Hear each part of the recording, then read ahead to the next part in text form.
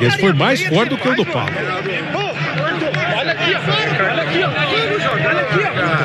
Olha aqui. Esse olho já é caído. Olha isso, Esse olho já é caído. Não adianta você falar. Isso aí, eu tô Esse olho já é caído. Caído não, hein?